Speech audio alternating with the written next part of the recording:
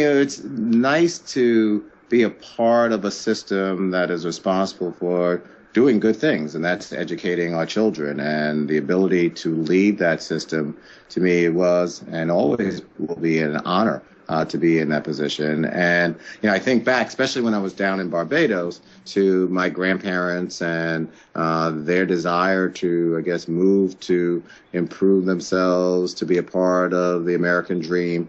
And I'm just a byproduct of their dreams and my parents' dreams. And then what I try to do is represent myself properly in public, knowing that uh, there are students out there who may not know me, but I want to make sure that uh, they see me as much as possible and see someone who respects them and uh, has, I guess, a vision as far as what they can achieve as well.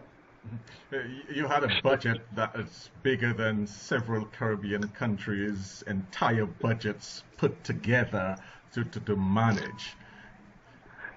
That that couldn't have been the easiest thing to do, was it? Uh, as I said, hundreds, uh, a uh, hundred plus thousand uh, teachers, over a million students in the public school system. Couldn't have been easy. Well, it's interesting. It's made easier by having a great boss like I did, Mayor Bloomberg, but also having great staff.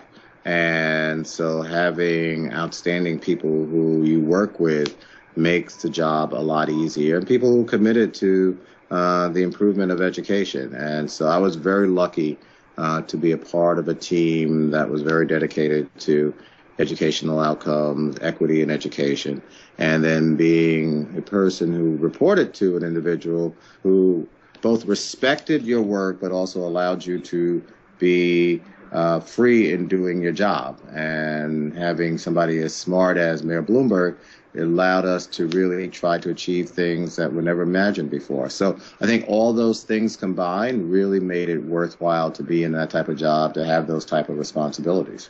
And but you, you did have some major challenges along the way in this three years or so that you were, didn't you? To put it mildly, I mean, anytime you're talking about a system of 1,800 schools, a $24 billion budget, 135,000 staff, 1.1 million students, uh, unions you're dealing with, parents who want the best for their children. There's always a number of issues that are facing you that you have to confront. And I think part of management is making sure you don't allow those issues to just go by the wayside or delay decision making.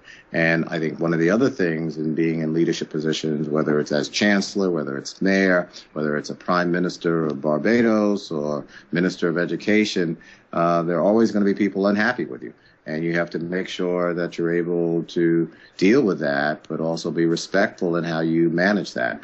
And so, as long as you have that type of mindset and you're satisfied with yourself as far as the policies you're putting forward, that allows you the ability to move forward to try to do what's best for uh, your children and your students. And, and what do you think with, with all of these, and, and we will touch Hurricane Sandy soon, but with all of these, that you were able to to realize some level of success, didn't you? Oh, we achieved a lot of success, not just some level. I mean, our goal was to improve the graduation rates, and graduation rates while we were in office went up by 43%. Dropout rates went down by over 50%. The number of uh, students of color graduating increased uh, by over 40%. Uh, we are able to expand the number of advanced placement course, courses for students, especially students of color. We created a number of new initiatives uh, to make sure that students were in better schools, uh, trained teachers, trained principals. So we were able to accomplish a lot, but that's not to say there's still a lot more to do as well. And then there was Hurricane Sandy.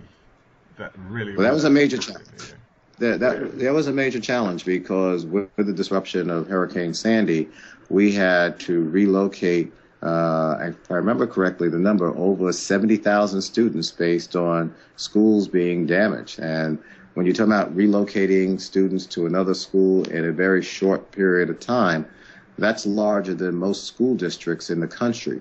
And so, again, as a result of a great staff, a great team in place, we were able to do that wasn't always easy, but our responsibility was to make sure that it worked. And at the end of the day, I think for the most part, it worked very well.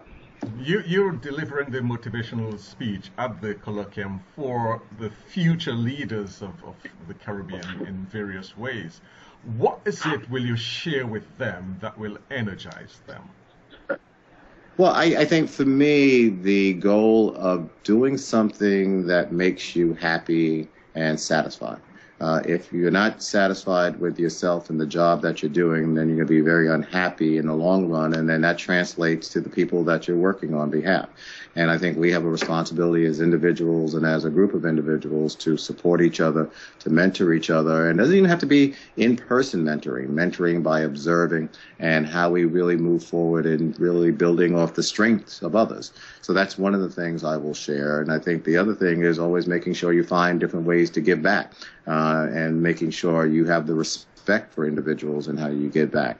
I practice something very simple, uh, and I try to do it every day in that I always make sure I say hello to people. Strangers on the street doesn't matter. Just a simple hello, and sometimes it catches people by surprise, but it shows respect. Uh, a lot of times up here in New York, you know, they're handing out the papers on the streets, and the people just hardworking handing out papers, and I see people brusquely walking by them, not giving them eye contact, and even though I may not take a paper, I will always say, no thank you, good morning, have a good day, and to me, it's about respect how you respect individuals, how you make sure that individuals understand what you're about, and conveying that, especially for leadership positions, I think is extremely important. Uh, there will be in, in, in the rooms a number of students who are probably uncertain as to which direction to go, what they want to do. Was there a period when you were uncertain uh, yourself where you wanted to go, and how did you manage to reconcile? That's a great question. I mean, while it may not have been clear in every job that I wanted to achieve or know beforehand where I wanted to go from a job perspective, I did know where I wanted to be from a career perspective. And those are two totally different things. And every job that I have had has always involved community service. So whether it's a kindergarten teacher, whether it's working in foster care, adoption, working for an organization that carries out grants to not-for-profit organizations, or being deputy mayor, being the head of the Urban League, and and the last job I had, uh, full-time job, was chancellor. Every one of those jobs involved community service to some perspective. And so to me, even if you're not clear as far as the exact job, having a sense of what will make you happy and satisfied.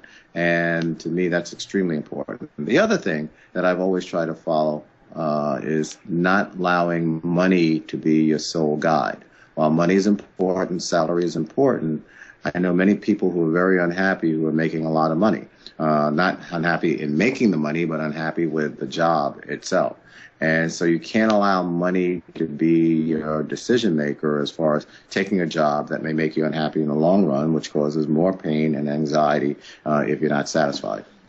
Uh, of course, you've you've been involved certainly as deputy mayor in, in Caribbean Week. You've been there uh, over the years for Caribbean Week. Your thoughts with the CTO coming to New York for Caribbean Week? always excited when CTO comes to New York for Caribbean Week. I mean, to me, it's a wide array of uh, workshops, forums, how they reach out to different individuals to make sure that uh, folks are engaged in what uh, the different countries in the Caribbean represent and having people become more knowledgeable about that as well. And so to me, it's always an exciting time. And quite frankly, I remember the first time I got involved. Um, and I remember the uh, dinner with the pageant or the walk of the flags of the different countries. And to me, that was exciting. That has always stood out in my mind. So I think there's something for everyone to participate in. And to me, it's always an opportunity to meet new people as well.